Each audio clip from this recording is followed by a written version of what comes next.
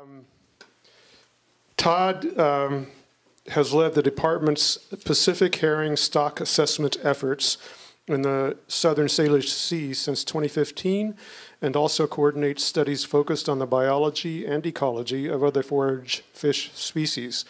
He has been a field biologist for 23 years, studying juvenile salmonid biology, disease ecology, and fish community trophic interactions in the upper and lower Columbia River, the San Juans, Grays Harbor, as well as throughout the southern Salish. Prior to moving to Washington in 2010, Todd worked at the Hatfield Marine Science Center at Oregon State, where he went to sea aboard commercial fishing vessels, vessels for seven summers and participated in the Columbia River Plume Study and GLOBEC, which is the Global Ocean Ecosystems Dynamics, a study of the Northern California current. Currently lives in Forest Park with his wife, Julie Keister, and uh, who is a biological oceanographer at the University of Washington. So please welcome Todd, Ted. Todd, excuse me. And let's see if I can get back to. Anybody know what that little thing on the left there is? I was gonna say it's funny lung sucker. Close. It's a larval mola mola. Oh. Larva Mola Mola. which I've never actually seen. but I think it's pretty cool. Pacific sunfish is mola mola. That's one of the more, most strange fish we have, I think. All right. Everyone hear me okay in the back? Um, thanks for having me up here. I am, uh, well, many of you probably know Kurt Stick, who was my predecessor at the department for 30 years, 25 years anyway. Um, now retired. And so I'm down at the Mill Creek office, which is Region 4. And I will, I can only really highlight things on the nearest screen, so apologies for you looking at that one over there. Um, let's talk forage fish. All right, so what are they? They are an ecological group, not genetically related, meaning they're not a family of fish or even an order of fish. They're basically planktivores, small silvery schooling fish that get preyed upon for their entire life cycle. So they don't outgrow their predators uh, ever, which means they have they suffer intense mortality. Um, planktivores, well, I'll talk about plankton more in a second. Um, obviously, they are a vital conduit between primary production levels and larger organisms like salmon and orcas. Um, they are also one of our Puget Sound Partnership vital signs for ecosystem health because they're so fundamental to the, to the food web. And they're also commercial, recreationally, and culturally important. And so this number used to be even higher, but currently forage fish make up about 50% of the global marine harvest of fishes. Uh, and it was even higher back before the Peruvian anchovy fishery crashed off of Chile. So, um, let's see what I have going on here. So in Washington State, we have uh, a couple different categories. We have pelagic spawners, which are anchovy and sardines. Uh, we, I'll talk very briefly about anchovy because they've been upticking in the blob era. Uh, warm water benefits them. Uh, we have sardines on the coast and sometimes in the Strait of Juan de Fuca, but rarely inside the Salish Sea. And I will use Salish Sea and Puget Sound sometimes interchangeably as I'm still transitioning. That's an anchovy with the undercut jaw, pretty, pretty easy to identify. Then we have our anadromous spawners like salmon. These are fish that spend most of their lives in marine environment but spawn in fresh water. That includes eulachon smelt, aka candlefish, uh, a whole slew of other acronyms, um, hooligans, and those are now ESA listed. We only have very small populations of those in the Skagit, and sometimes we bump into them in the Strait of Juan de Fuca, but not much elsewhere. Uh, and then we have longfin smelt. As you probably know around here, there's a run in the Nooksack. There's also a landlocked run in Lake Washington, and they used to be, of course, widespread everywhere, but those pretty much the two remaining populations, uh, large populations. And then we have our nearshore spawners. So this is where we're going to spend most of our time today. Uh, these are our big three, and I'm going to actually start with surf smelt and sand lance because we know less about them, and then I'll move to herring, uh, and then I will talk about cherry point herring, which I'm sure you're all interested in. So if you want, if you have questions as we're going, please do ask. But if it's a really complicated question, I might put it off to the end because I don't want to use up uh, all the time. So anyway, um, and then the, the other thing that's worth knowing is there's a bunch of other stuff that, that is in the Salish Sea, like squid and stickleback and shiner perch and larval hake and all kinds of stuff that can be forage fish, but are not typically considered forage fish. And that's because they tend to be benthic once they're adults, so they're on the bottom. And obviously, squid are not fish, but they're eating at the same level in the ecosystem. So things like squid and jellyfish are competing with forage fish and also with juvenile salmon for their food source. And their food source, we're going to talk about next. Oh, I have this slide I threw in just for this. Okay, this is the Puget Sound Food Web over the last year. Um, but increasingly, this, this piece of the puzzle, forage fish, is starting to be included in that discussion. And that's really encouraging because I worked in salmon biology and ecology for 17 years and nobody talked about this. It was very frustrating. Um, so we're starting to take a look at that. And if we're going to look at that, it's worth looking at the rest of it. So here's the, here's the big picture. We're looking at energy flow on the left axis, and of course the biomass is the width of the pyramid block. It starts with phytoplankton. These are the marine plants, typically single-celled. They're using the sun for energy. Um, and they are eaten by zooplankton, which I will talk about in the next slide a little bit. Zooplankton are all the little things out there that fish eat uh, and jellyfish eat. And then, hold on, we have forage fish. Don't, you didn't see that. That was the, that's, the, that's the good part of the slide. We have forage fish, then we have all the other fish that eat forage fish, which is pretty much everything, uh, and seabirds. And at the top, the marine mammals, the color scheme there is not a coincidence, but um, it's also dolphins, porpoises, seals, sea lions, uh, whales like humpback whales, and of course orcas. So that's how the energy flows. And it's really cool to see.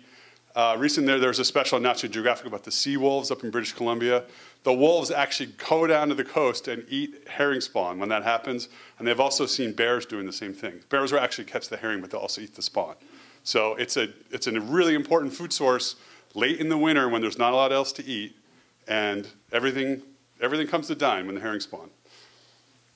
Okay, so a slight explanation for how this cycle works in this neck of the woods. When I say Southern Salish Sea, what I'm about to say really pertains to Puget Sound proper because we're in the southern strait of Georgia and things are much more fluid here uh, with the Fraser River input. But big picture, what happens is um, obviously phytoplankton needs sunlight to grow. So in the wintertime, they're very low levels, so there's very little food for everything else. Uh, when spring hits, we have these storms in the wintertime, it mixes the water column. So in the water column, the deep stuff tends to have more nutrients because nothing is really, everything that dies sinks to the bottom and decomposes. So the deep water is nutrient rich. You have winter storms mix that up. That stuff comes to the surface. Spring hits, you got sunlight, boom, phytoplankton bloom. So that happens, and then shortly after that, you get a zooplankton bloom, which eats the phytoplankton. And that timing is really important. We'll come back to this at the end and talk a little bit about climate change. That time is critical because that is the food for forage fish. And they, they, obviously they hatch out. They have a few days to start feeding or else they starve to death. So in Puget Sound and in most of the Salish Sea, Hood Canal falls in the same category. There's a big bloom in the spring. Then the phytoplankton actually use up the nutrient levels in the surface waters.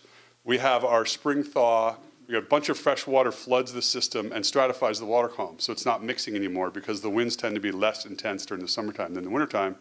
So there's actually this lull in the summer. Not that things aren't growing, there's still little, little patches here and there, but overall the big bloom has already happened. And in the fall, this fall was a bit of an anomaly, but you have big storms again, mixes the water column, there's still not enough sunlight, and you get a secondary bloom in the fall. So that's the general pattern. All right, so zooplankton. This is what my wife studies. Uh, huge diversity of organisms here. Everything from crab megalopi. These come out in the early summer. That's also a favorite food item for salmon. Uh, we have euphausiids, which are krill. Copepods, largest biomass on Earth of any invertebrate organism right there. Um, this is a marine, this is a pteropod, it's a marine snail. Uh, and then, of course, larval fish, when they first hatch out, they swim very poorly, as I'm about to show you. And so they're actually considered zooplankton because zooplankton means drifting with the current, more or less.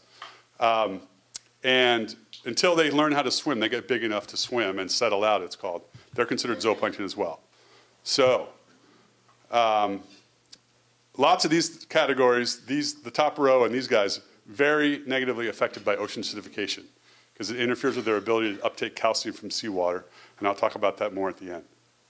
Okay, so here's a, a very short video. I, this is, I find this endlessly fascinating. We think about fish. Around here, we think about salmon. Salmon are cool. Uh, you think about salmon leaping up waterfalls, and fish obviously are good swimmers. But when fish are really small, it's a totally different story. And that's because of uh, an effect called Reynolds numbers, which I can't even try to begin to explain to you. But basically, when you're small, the water is viscous, and you have what's called a boundary layer. So this fish, we're going to see in the video, I have to start it first. Um, this is a, a, larval fish trying to eat zooplankton, that's all the black dots. And you'll see that it's struggling to move through the water. Uh, I don't see it. There we go. Okay, here we go. So he's coming in on it. Dun dun dun. Okay? And that's the boundary layer of water. It's so dense that proportional to the size of the fish, he's just pushing the, the food away. Okay? So that fish could potentially starve to death. And then here's another, there's been a couple of really cool papers on this. Um, if it will forward, there we go. Okay. So this is another paper that came out in 2014. And this is, um, sorry, Eleanor, I'm beating your remote up here. Um, again, so this fish, you can see this, the gut has developed more, so this is an older fish. There's more musculature in the spine, and then the tail is bigger. It's pointed right at us. It's in plane, so it's hard to see. But these things indicate that it's an older fish. It's a little bit bigger. And when it goes to feed, boom, right? So that's what larval fish have to overcome. Now, for herring, herring eggs are laid in, in, around this neck of the woods. The water temperature is somewhere around 12 to 14 degrees Celsius. They have, they hatch out in about 12 to 14 days. They have five days to start feeding or they starve to death. And so that, for all forage fish, all pelagic forage fish, that's an incredibly important step. They, that, the year class, the recruitment of a year class is set during that phase. Okay. So moving on. Okay, so I'm going to talk about big three.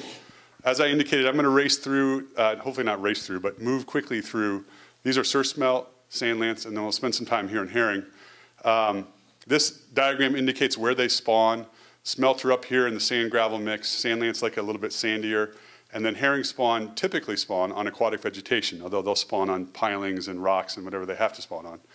Um, in our neck of the woods, that's usually about 20 feet, minus 20 feet limited by the sunlight. Obviously, the sunlight has to penetrate the water to grow the aquatic vegetation. Otherwise, there's nothing for them to spawn on. But actually, in Hood Canal, where the water's clear, that sometimes sees uh, vegetation and spawn down 40 feet deep. Okay, so surf smelt. Um, these are fishes that live two to three years. They're repeat spawners. Um, they're spawning. I showed you where they spawn there. Uh, we have a recreational and a commercial fishery for smelt in Washington State. Um, and we really haven't done that much work with smelt yet, but it looks like preliminary genetics suggest a northern and southern division uh, very loosely, and that, that corresponds with their spawn timing. Um, and then one of our real questions is we're trying to manage, we manage two fisheries for smelt, and we don't have any idea how many smelt there are. Um, the one thing that you hear from everyone who does research is there's a ton of smelt. If you put a beach seine out, this is a beach seine, um, if you put a beach seine out, you're going to get a lot of smelt, especially in the summertime. So they don't seem to be limited, but of course we, want we don't want to use our ignorance to overharvest them. So there's a 60,000 year quota, pounds per year quota on smelt right now, uh, which was reduced from a few years ago. Okay, so what we do know is where they spawn, and this is work that Dan Penttila, I don't know if that name rings bells with you all, but he's been doing this, he's still doing this for a long time. Um, and the benefit of identifying where on the beach they're spawning is that there are laws to protect those areas from development, which is important because they don't just spawn anywhere. And the same thing with herring is there's a ton of habitat, but they don't just use any habitat, and we don't know why they use what they use. This map is available online. I'll show you a link here in a second. This is everywhere in the state of Washington that we found smelt spawning. Um, over 250 miles of beach so far. And here's the division I was talking about in terms of Northern ones tend to spawn in, the, spawn in the summer. These guys tend to spawn in the wintertime. And this is not Camano Island, but uh, this is us setting a beach seine. So Camano Island's a hot spot for smelt, and like something like 80% of the commercial fishery takes place right there. Um, I'm not sure why that's a hot spot. I think there's probably several hot spots that we don't know about, but this one's sort of a historic one. So this is uh, Camano, this is Whidbey. And so we went in here uh, two years ago and captured 10,000 smelt and tagged them to try to do a mark recapture study where we can then estimate how many there are based on how many we got back. So we tag them with this, uh, they're called VIE tags. It's an elastic polymer that's fluorescent, but it, it's theoretically non-toxic, which is important because people eat smelt. And if you shine a UV light on them, they fluoresce like this. So we tagged 10,000 smelt And then the commercial fishery started, and we came back out with our seines, and we seined for like two weeks, and we recaptured 21 smelt, which is just enough to tell you that you just wasted your time tagging 10,000 smelt.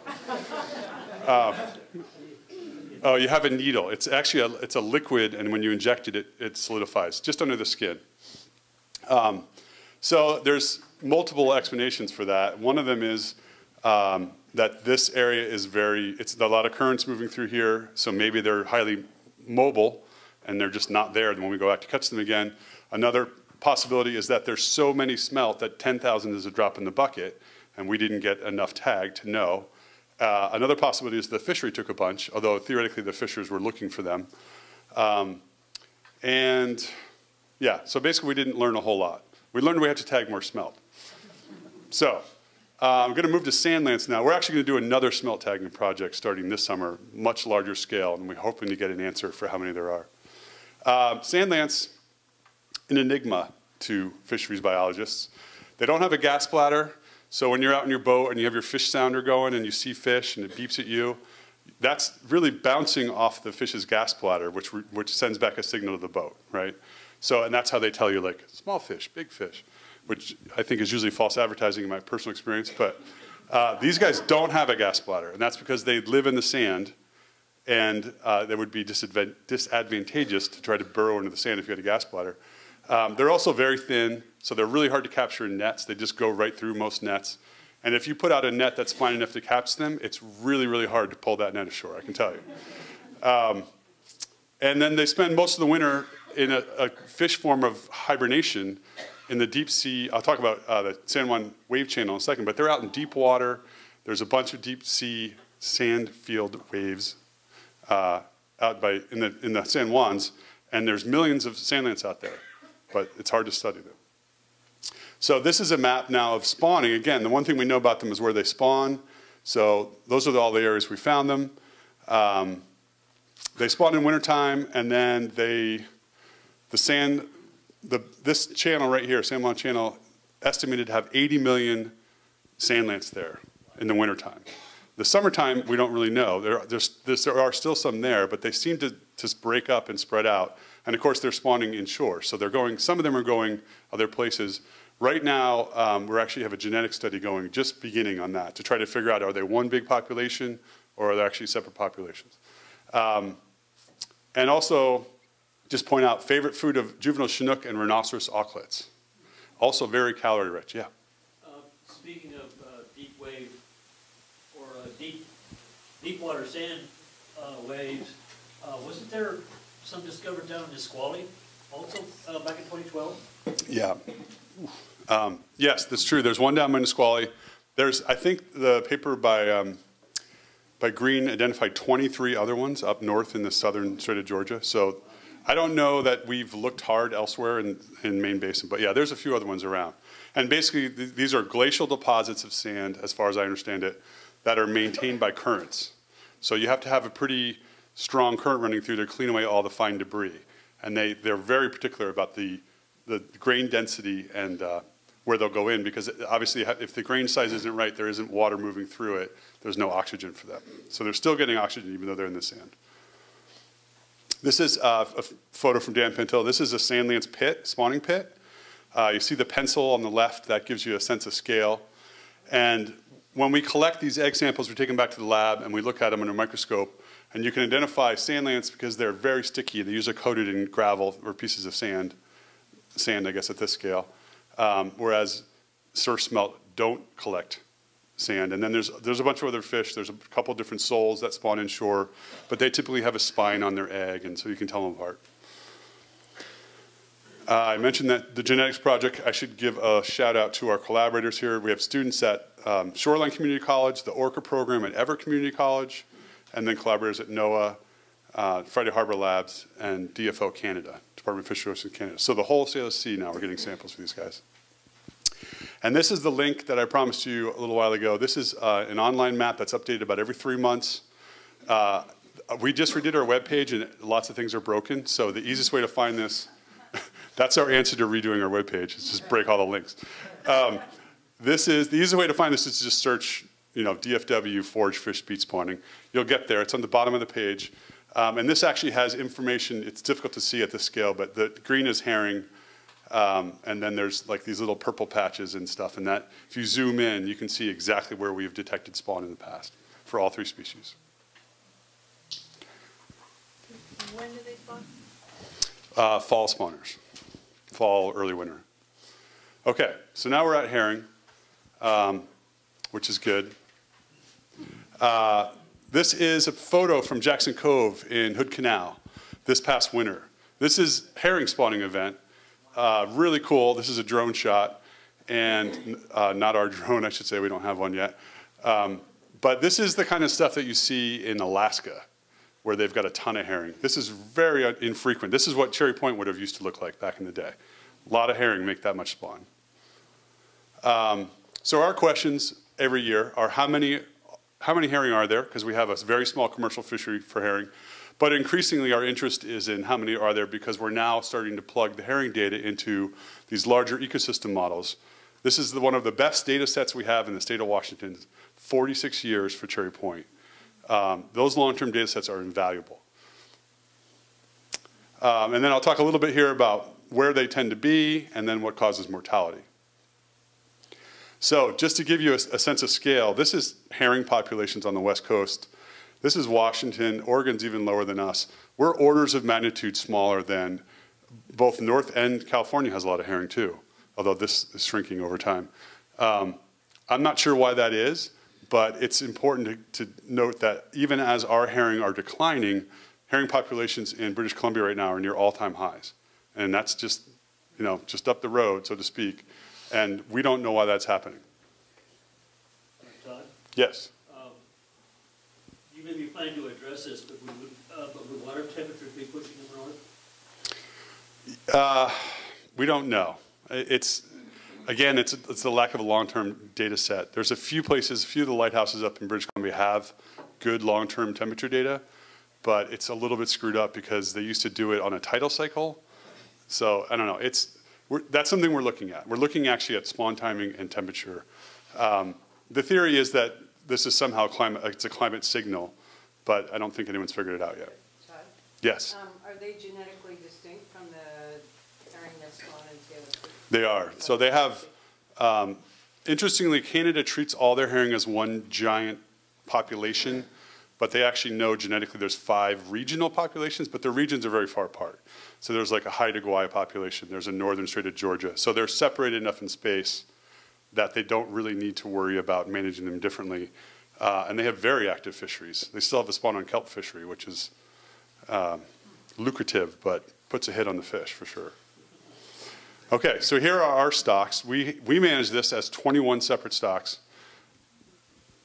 Thank you. I need to kick things into gear a little bit. Good pointing finger. um, okay, so we have, traditionally we've had three stocks. Uh, we have 21 different places where herring spawn and we check on them all every year. But genetically there's three stocks. Cherry Point, very distinct. Squaxin and Pass, uh, considered distinct, although there's we're ongoing research with UW right now that's calling that into question. And then everybody else gets lumped into all other stocks. So this blue line is all other stocks. The red line is Cherry Point. You see the dramatic declines pretty much before 2000. We lost all that by 2000. Since then, up and down, but recently going down, and actually this year they went up 9%. That's not a victory, but they actually went up in number, so that's encouraging. Um, here I broke out the Hood Canal. The Quilcene Bay stock, the last five years has been going crazy. Um, it's hence that picture I showed you of Jackson Cove. And they, you can see the average for them is about 3,000 tons, metric tons. They're well above that, and then they crashed back down this past year. They had 49% drop, and they're still half of all the herring in Puget Sound, or the whole the Southern Salish Sea, is in Hood Canal. So that kind of thing is normal for forage fish. They have this incredible variability, but uh, I wish we had a better answer for why that happened. Yeah. How far do they roam between spawning and coming back? So, good question. Um, the South Sound stocks are, tend to be resident, and we know that from toxics. I'll talk about that in a second. And everybody else up here and up here, most of them go out to the west coast of Vancouver Island in the summertime to feed because there's better food out there. The exception is the cherry point fish. We don't know where they go. And that's one of our big questions. Because they don't have the same toxic profile as the ones that go out to uh, West Coast Vancouver Island. Does, does the decline in the Cherry Point population correlate with the expansion of that industrial area there? And the- the increased activity? I thought that question would be asked. Um, actually, I have a slide on that at the end, but interestingly enough, it's not, it, there's no, it's not a, an obvious explanation. And I think, I think honestly, the, the best explanation is the fisheries. I have a slide on fisheries here, I'll show you in a second. Michael? Uh, just for amusement's sake, you could also correlate the decline of the herring with the invasion of sargassum. You could do that, and you could probably make a correlation with the salmon fishery too. I mean, lots of things went down at the same time. Um, anyway, so I think, okay, this is spawn timing. Next, we're coming up on the other slide. Anyway, this I'm not going to spend a lot of time here, but these are south to north. These are all of our stocks. Um, the light green is we found spawn. The dark red is peak spawning, and then the, the dark green boxes are changes. And we see some of the stocks now in the last, and it- it's even changed since this. Last year, Semiahmoo spawned the first week of January, so we'll be out there the first week of January this year because we like to get a zero to make sure we're getting all the spawn. So the general pattern has been they tend to be spawning late, at least in the last year, but overall it bounces around. And we look at this looking for some kind of climate signal. We haven't found one. Okay, so how do we know all this? We do two different kinds of surveys. Uh, the, the ones that we're still doing are the spawn deposition surveys. We call them rake surveys because we use a rake. And it's two of us in a 14 foot boat, and we drag this thing behind the boat for as long as it takes to fill it up with vegetation, which is usually about 10 yards. Um, we pull it up and we look for eggs, and if you find eggs, then you figure out how many eggs are there, and then you can calculate that by how much, how far you ran between stations. It's all geolocated now, and you can back calculate. What we're actually calculating, based on uh, techniques developed by the Canadians a long time ago, is how many herring had to be there to leave that many eggs behind. That's really how it works, and it works pretty well, um, which is somewhat surprising. Uh, this is a rake. This is from Hood Canal. This is pretty rare, but that's a herring rake full of eggs on Gracilariopsis. And then the way that we used to do this, the other way we used to do this is called acoustic trawl. This involves two boats. You have a boat out front running with a scientific echo sounder. You're getting uh, readings of how many, they do it at night because the fish are up in the water column, and that schools tend to break apart. So you can actually get an account of fish. It's basically like your fish finder on your boat, but it's much more powerful. Um, and then you got to go through with a real legit fishing boat. This is an old limit seiner, 62 feet, that we use at Jusina. Uh, it's in Blaine Harbor, Fairmount and they put a net on it and make sure that it's herring because it could be hake or some other kind of fish and then it's usually not just herring so if it's 60% herring you take whatever number you had as an estimate from acoustics times 60% that's your answer um, so they, we used to do both of these together and the nice part about doing this one is you actually get your hands on some fish when you just get rakes full of eggs you can't measure fish you don't get scales or otoliths or you can't tell what sex they are or fecundity so there's things that we are missing with our current way of doing this that make management uh, somewhat faith-based process. When they compared these two things, the R squared, you run a regression, the R squared was really strong. 0.8 for ecological data is a very strong signal. Unfortunately, the department turned around and said, well, if it's that good a correlation, we don't need to do this anymore because this costs a lot of money. And so we just do this one now. And that was a, that was a budget crunch that, uh, you know, those things happen, but that's the decision that was made. So um, herring mortality, I need to keep moving along here, but basically everything eats herring. Um, they have disease issues. Our colleague Paul Hershberger at USGS studies two of the major diseases uh, in, the, in the Salish Sea. There's issues with toxic I'm going to talk about. As I mentioned at the beginning with the timing of the blooms, there's an overwinter starvation issue. Uh, and then there's fishing pressure. And I can knock out the fishing pressure right now.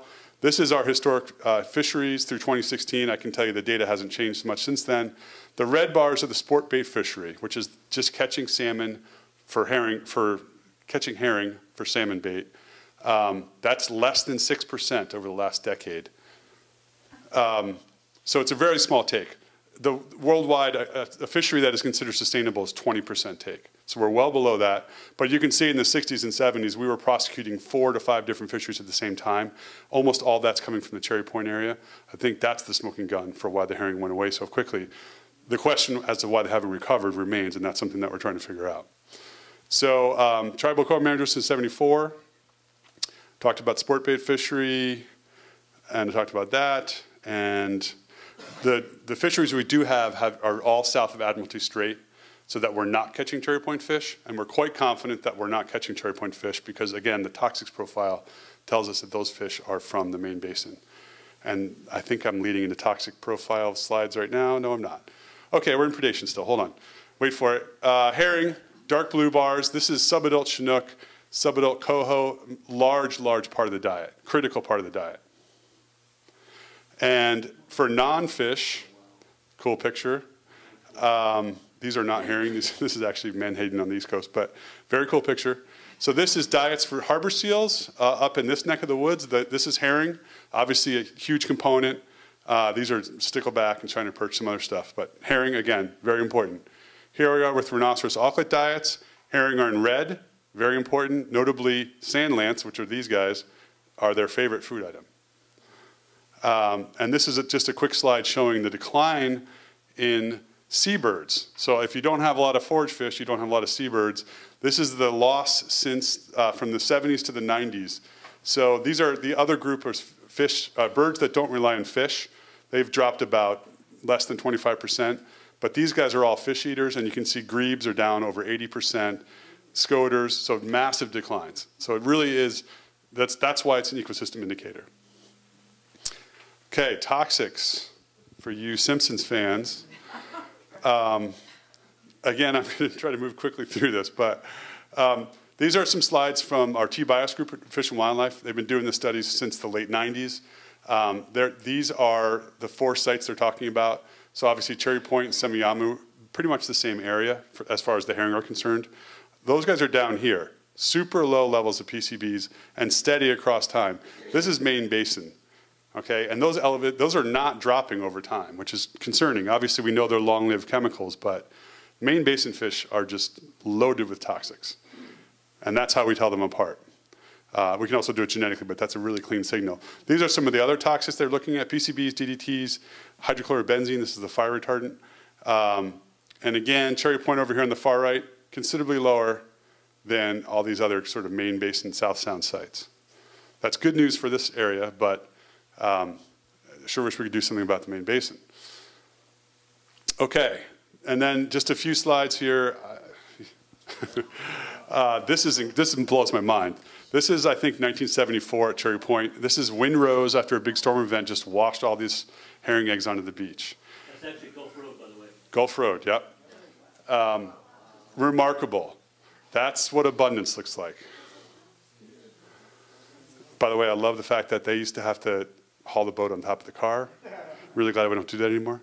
Um, okay, so I won't spend a ton here, but you've seen this decline. This is the, the, decline of the cherry point stock in red. I'm just, I throw this up there to just show you the noise. These are all of our 21 stocks plotted out. Tons of noise, and that's, that's to be expected with forage fish. Um, over that decline, up here at 73, you can see this, the red is where the herring spawn was detected, all the way down to Portage Island, Lummi Island, all the way up, including Point Roberts. This is 82. By 90, we're seeing a contraction. Actually, they're moving, we're losing the upper portion. And then in the late 90s, they've contracted down to this tiny little spot in the middle. Um, this is Point Whitehorn. This is Birch Head. Uh, and then in 2006 and then 2014, they're basically moving from Point Whitehorn to Birch Head. Starting in 2016, we've only seen spawn at Birch Head. That's it. Uh, that's another toxic slide. This is um, why we're saying we don't know where they go when they're not spawning. I, I don't have time to explain this fully, I apologize, but um, by looking at the toxics profile, we know they don't go out where all the other fish go out. What, so what this says to us is they're probably in the Strait of Georgia year-round, but where in the Strait of Georgia? And I suspect they may be up in Canada, but I don't have a way of proving that yet. Um, some age structure stuff. Uh, th this is a, these are herring scales. This is how we tell the age. We can also use otoliths. Um, I'm going to run through this quickly because we're running short of time, but this is the age structure profiles through time. So this, this is uh, 74. You see a nice bell curve. Some eight and nine year old fish, very encouraging. The larger, older females tend to have more eggs, higher fecundity. As they move through time, you see it bouncing around, but as we get into the, this is uh, 2000, this is 2011, highly skewed to the left, meaning younger fish. We did a, uh, with funding from DNR, we did a study with Gillnets. excuse me, 2016, 2017. Don't eat pizza right before you give a talk. Um, and we're back to we're back to a bell curve. So some of this, I, I, this is somewhat a method of detection, but it's really nice to see that we still have some of those older fish there. Um, we had some interesting spawning events in the past year. Uh, we had a very odd time spawned right at Point Whitehorn. This is a photo from Mike McKay. Uh, this is a plume of spawn that actually wrapped around into Birch Bay. And this, and then another event down at Sandy Point. I don't know if anyone lives down there, but they, people had herring spawn on their lawns because they spawned at high tide. Very heavy. We could not get there. We're, we're, we have a full slate of herring surveys. We got there two to three days later, and because of all the bird predation, that was already heavily grazed down to like a medium level of spawn, which is a very different thing from a, a heavy level of spawn. It's logarithmic scale. Um, okay, so I want to throw this in there because this question has been asked a lot in the last year. Can we jumpstart herring to revitalize Puget Sound? Well, the thing to remember is everything has to have something to eat, right? We talked about how quickly they can starve to death, bloom timing, things like that. So there's been talk of among other things, herring hatcheries and net pens. I have to say I'm very much against that, for, uh, mainly because of disease issues. When you put fish in high densities together, you have massive disease problems. But it took us 20 years of research to learn how to grow salmon in hatcheries because for the first 20 years, they just all died of disease. Um, but also, there's been a cost analysis. The, the, Canadians have been doing herring work intensely, much longer than we have, and it's a, a commercial fishery that brings in a lot of money, so there's a lot of money directed at the research.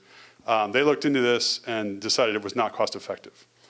The other thing is to increase spawning habitat, shoreline. Um, right now, herring are not habitat limited in our neck of the woods, but there's always the threat of destroying habitat. So I showed you those spawning maps. And like I said, there's lots of habitat, but the fish spawn where they want to spawn. And if you put up a giant seawall there, that destroys the habitat. They don't just spawn 100 yards down the beach. Sometimes they just disappear, and we don't know what happens to them. Um, DFO has tried to transplant stocks to new grounds, which is what the, um, a lot of the tribal oral histories talk about putting in hemlock boughs and letting this egg, the herring spawn on them and then moving them to new locations. I think that's possible, but you know, they tried to do it for four years and it didn't work. Um, and then reducing egg predation. And this is something where we just put a grant in yesterday with uh, Kathryn Sobocinski at Western Washington. We're trying to get funding to investigate what happens if we reduce seabird predation on the herring eggs at Cherry Point, because this to me is the least intrusive way of trying to solve this problem. Um, it's just let the herring spawn naturally, cover the eggs with some netting, and then hopefully you'll have, you will have more egg survival. The problem is that survival of the, the larval fish is still subject to incredible mortality. Again, they have to have something to eat. The timing has to be right. If that doesn't work, you could have all the eggs in the world hatch out and they'll still all die. I sound pessimistic, but that's, that's just how it works. Um, so I'm, that was really the one I wanted to talk about in terms of our projects. I'm going to run through that. This is a slide showing that, egg, that avian, as in bird predation, is really, really significant at Cherry Point, but not, not in some of the other sites they looked. And this is because that they've contracted their spawning range now so small. It's very intense spawn in a very small area, and that means the birds can just hammer it. And so I think the avian bird thing is a real phenomenon up here. Um, this is some anchovy data. I just wanted to mention that anchovy, since the blob, anchovy have come up in abundance quite a bit. We don't know how much because we don't usually look at anchovy, but it's clear that their numbers have increased. And this is one of the things we have to keep in mind. Everyone always says, well, when are we going to recover the herring? I'm all for that, but realize that there's a bunch of other things in the ecosystem that are willing to take that space. So if you fish out the herring, Maybe we've got more anchovy now, and they're competing for the same food source. So it's not a simple plug and play, pick your favorite species equation. Anchovies occupy the same uh, for food for salmon and They do, um, more or less. Anchovies actually have finer gill rakers, so as they swim through the water, they can catch smaller stuff. So they're slightly different, but there's a lot of overlap. So they're definitely competing, especially when the herring are small. Um, so this is my climate change slide. How are we doing in time? I know I'm over we badly over? okay. I'm, i will run through this and then we'll be done. Um, anyway, these are the concerns long term with climate. Obviously, the, wa the water's warming, so if you're a fish, that's a problem because warmer water holds less oxygen. That's chemistry. Um, and of course, the fish's metabolic rate is running faster, so they have to eat more to keep up with that expenditure. Um, the other one is food web timing mismatches. This is what we talked about with the bloom timing. They've got five days they got to find food. If, if the world gets warmer earlier and the phytoplankton bloom earlier, then when the herring hatch out, they either may or may not have any food. And that timing is critical. So those shifts are important. Hang on to that for one sec. Um, and then ecosystem shifts, we talked about maybe there's more anchovy. We, evidence suggests there's more jellies now than there used to be, and jellyfish are competing for food with forage fish. And jellyfish are considered a dead end because if you eat a jellyfish, you get very little nutrients out of that. So that's, that's an issue that's being tracked now. Um, and then ocean acidification. I touched that at the beginning, but this is really the, uh, it affects a lot of things, including fish behavior. Oddly enough, uh, fish from the tropics have, they've now demonstrated that their changes in acidity modify fish behavior, which they don't know how that works yet, but I find that interesting. That has not been shown for temperate species. Um, and then, of course, the, but the, the zooplankton ability to uptake calcium carbonate from the water is changed by the acidity. So if the acidity goes up, that process gets harder. That's the food source for everything. So that one is certainly troubling. Okay, I think that's it for my slides. Uh, I do have a short video. It's one minute. This is fun. We got to watch this. Hold on.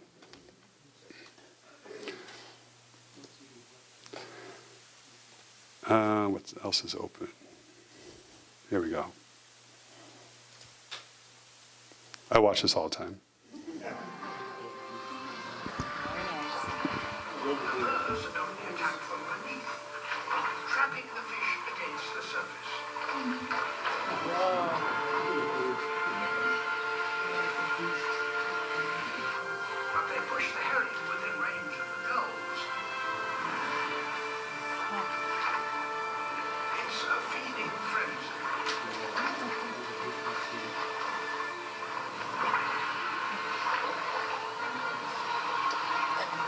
Those are scales in the water.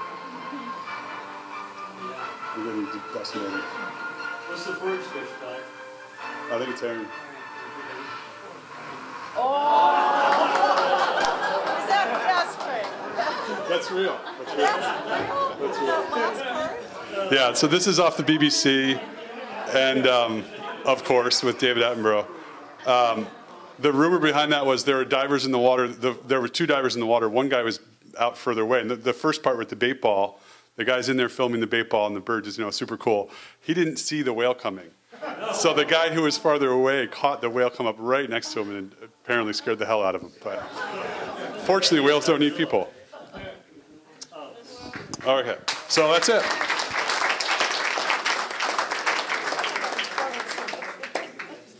Uh, Todd, if you have a moment, How are we doing? Yeah, a couple questions. Yeah. If you have a moment, would you address the importance of Fraser River copepod to two-year-old, two-year-old, uh, first spawner herring coming off of Cherry Point grounds? Say that again. Fraser River Copepod. copepod plume. Okay. Uh, the importance of that as a food source for the two-year-old herring spawners coming, uh, first-time spawners Yeah. coming off of Cherry Point grounds. Yeah, that's potentially that's uh, so. the Cherry Point herring, because they spawn later in the year, herring don't eat for like a month before they spawn. They put all their energy into egg production, so they're losing a really critical period of the year because there's a lot of food in the spring uh, in order to spawn late. And so the question is, how do they then survive the winter if they're missing out on that? And one of the answers is potentially the copepod plume that Michael just talked about. The other theory, I don't know if you've heard me say this before, but Doug Hay, who's a retired herring biologist at DFO, you know, 35 years of, he's, he's a, a, a wise herring person. Oh, I call him all the time. His theory is that the Cherry Point adults are actually going into the Fraser River in the saltwater wedge and feeding on juvenile chum and pink salmon when they're that big. Oh, because they're just little balls of fat with a giant yolk sac, and that's how they do it. And we're actually going to try and test that this year. We're going to try and go up and catch some fish and then run genetics. And I love the idea that herring are eating salmon, even though, you know, payback, payback, people. It's hard out there for a herring. Okay, other, maybe one more question? And your question about the timing at Cherry Point, if you want to see me afterward, I actually have a slide sort of talking about when the, when the terminals went in and stuff like that, but, you know, it's just, it's not a clear signal. Anybody else? Yes. Caspian Church from Columbia, is that Could you repeat the first part? Oh, the terns. Um, you know, the terns come through, but they don't stick around. Like the, the scoters actually coming in and timing their migration for the herring spawn. And there's actually a really cool paper, it's about, they call it the silver wave. The silver wave is the herring spawn. So they, they spawn, they start in California earlier because the water's warming up earlier. And up in Alaska, they're spawning in August, right? So the birds actually timing their migration to follow the herring up the coast. It's pretty cool. Um, but I haven't heard much about terns. I mean, they, they do eat fish, but I, they're never listed as one of the culprits. Yeah, one more, last one. Paul Hershberger had a bunch of ideas, and we worked with him on cherry point and stuff a long time ago, about different kinds of viruses that were getting into it, that things were changing. Yeah. Back in the seventies, I think there were eight, there were like five viruses that weren't even found in Puget Sound, and now we have. A couple of them actually affect different, uh, life stages of, and and classes of herring. Right. I don't know if you worked with them or had recent conversations. Yeah. Explore it more. Yeah, all that's true. Um, part of it's detection capability, I think, that we're, we're seeing more viruses that we didn't have a way of checking uh, as, as sensitively before.